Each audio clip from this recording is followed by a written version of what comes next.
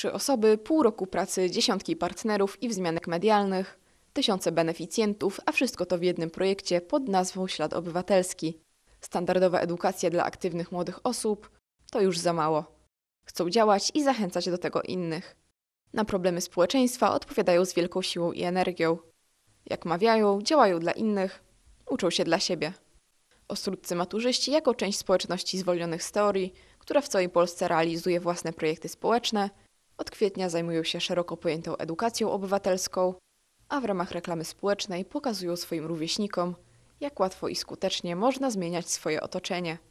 Promują wolontariat i aktywne postawy obywatelskie oraz tłumaczą skomplikowane zagadnienia prostymi słowami. W tym miesiącu podsumowali swoją pracę. Co dokładnie osiągnęli w tym czasie?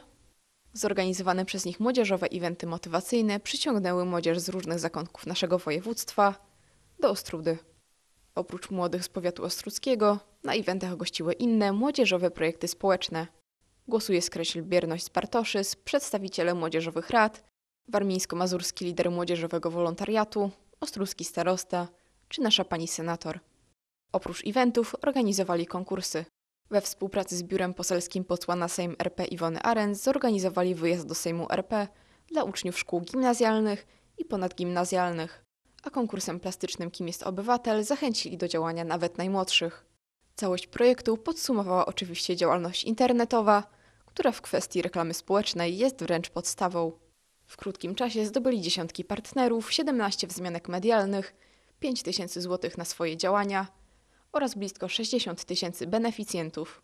Projekt Ślad Obywatelski zyskał maksymalną ilość punktów w Olimpiadzie Projektów Społecznych.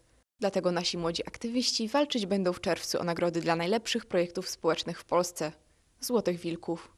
Gratulujemy udanej inicjatywy oraz życzymy powodzenia w dalszych działaniach. Mamy nadzieję, że swoim projektem zachęcą jeszcze wiele osób do aktywizacji.